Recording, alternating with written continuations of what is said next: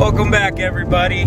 Welcome to a nice, I'd say sunny, rainy, cloudy, overcast day here in SoCal. We're still under quarantine. Trusty free labor assistant here.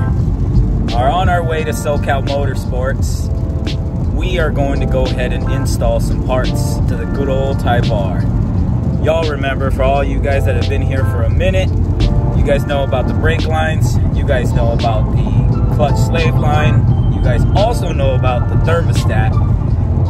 And for all of you that just hopped on, you guys know about the bump steer kit we picked up all from Spoon.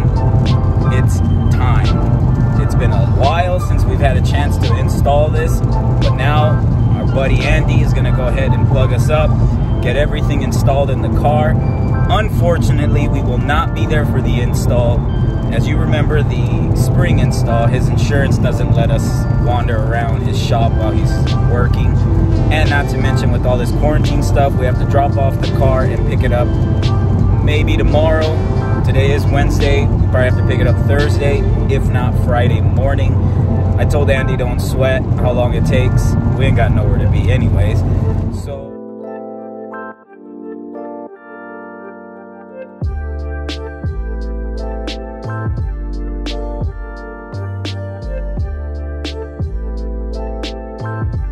All right, y'all, we just dropped off the car over here at Andy's. They're gonna go ahead and handle all the installs. As you see the R in the background right there. They're gonna go ahead and take care of everything. He told me a few days. We're gonna give him as much time as he needs.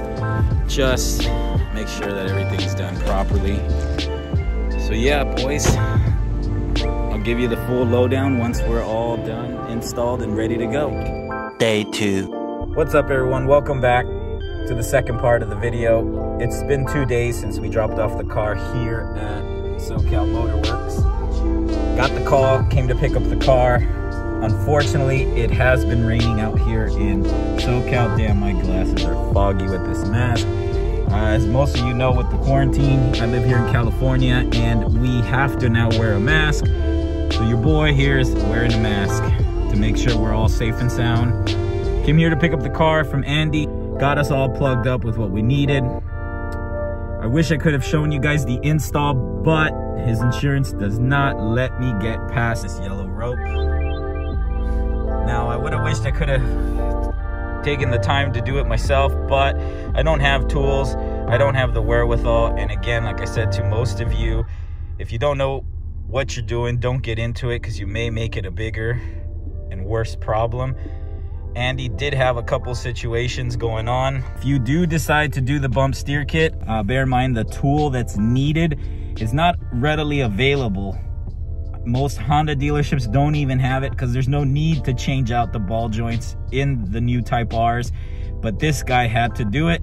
Andy put in the spoon ones. When we get home, I'll try and show you guys exactly what he's done.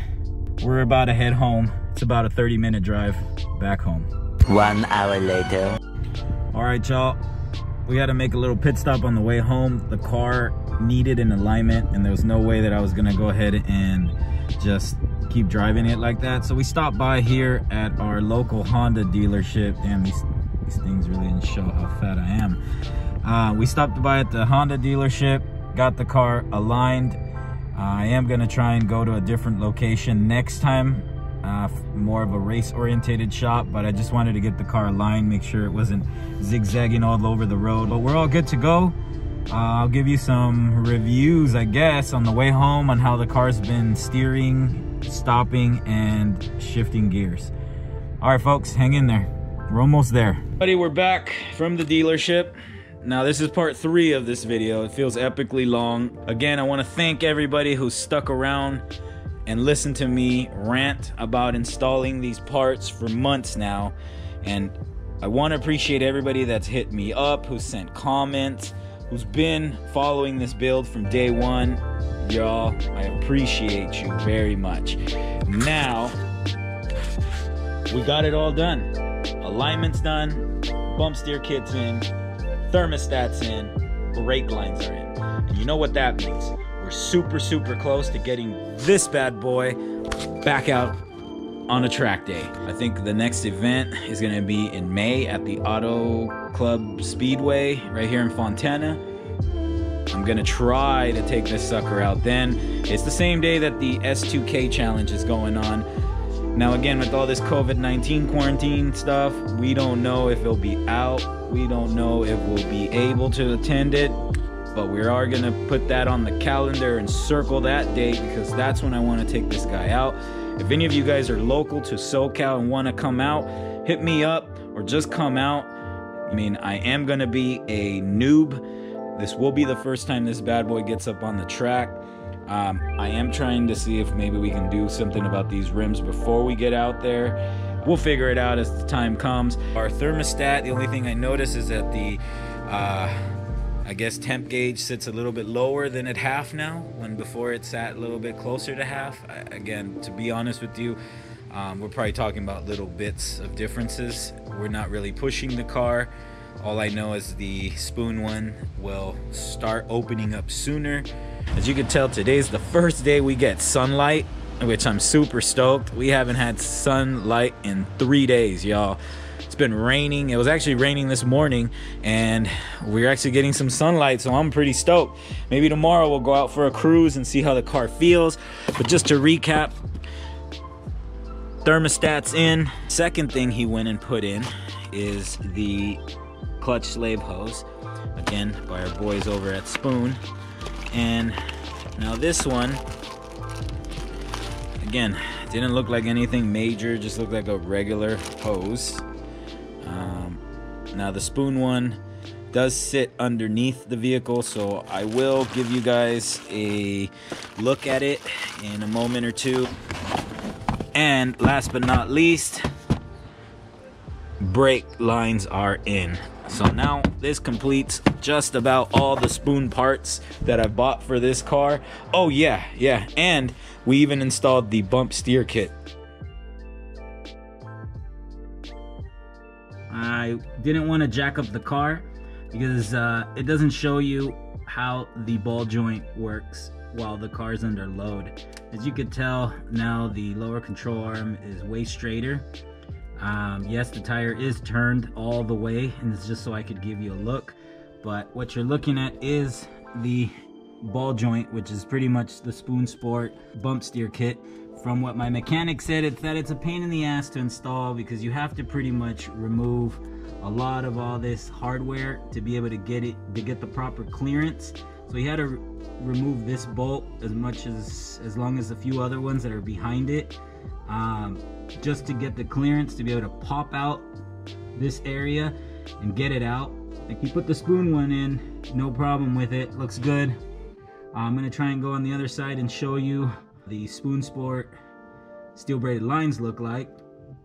I do wanna let you know that it does lower your car about an inch. If you can see, my car was on Spoon Sport springs before, and after the car came back, from the mechanic. It was a little lower in the front. Does fix the geometry of the car, but you also uh, get a lot lower suspension in the front now because of it. Now, let me see if I can get in here and show you. Oh yeah, there they are. So those are the Spoon Sport steel braided lines trying to see if I can get you guys some good lighting. Excuse me. There we go. So those are the Spoon Sport brake lines.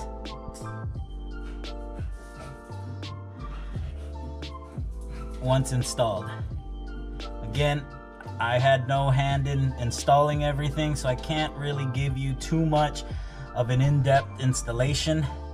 All I know is that uh, Andy told me that once he bled everything, the rear calipers in the back uh, do require them to be super tightened in the back when you're bleeding them because he kept getting uh, a loss of pedal pressure.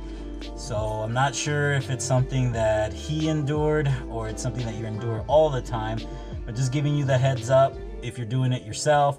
You also need to know what's up with the Civic Type R's service mode so you could put the car in service mode when you are doing the rear brakes. Let me run over here, excuse me, Pablo. This guy follows me everywhere I go. So you can see them back there. Again, Spoon Sports did an amazing job at these. They are uh, wrapped in a Teflon type of um, covering with the steel braided line inside.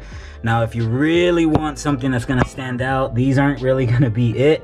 They look gray once installed. I'm trying to get you guys a good look in here. They look gray when they're installed, to be honest with you. Only thing giving them up is the blue housing little sticker thingy that's at the end. And right here as you see in that area you see a little bit of blue sticking out as you saw in the front. Otherwise you're not going to get too much look except again you get way more pedal response. Same thing with the clutch line. Way more pedal response Thermostat, again, I, the only thing I noticed, the car stays a little cooler as far as it doesn't rise up to the middle of temp again. It, it kind of hangs out a little bit below middle. And bump steer kit, what I can say is if you have the loot, you're trying to improve on your, you know, left to right, stopping and all that deal, I'd say it's a go. Otherwise, the stock components that come with this Type R are well enough for anybody. It's probably well enough for me, but I'm nuts and I wanna go ahead and make this a spoon build like I told you. So we are going with a lot of spoon suspension parts. Pretty much everything's is spoon suspension on this car so far. And they are R&Ding some things. We'll see what's up. I'm impatient, so I can't wait for most of these things. But again, just wanted to give you guys a quick look of how it looks uh, when the car is fully under load so that way you can see what the uh, ball joints look like and the brake lines. But enough preaching. Hopefully we get to see you guys out on the track soon. Thanks again for watching, everybody. Thanks again for spending some of your day here with me. Uh, thanks again for watching me tinker here with the car. And again, don't forget to subscribe. Don't forget to hit that bell so whenever we do put up videos, you guys are the first ones to see. So again, folks, from the R, from me. Thanks again. We'll see you guys again real soon.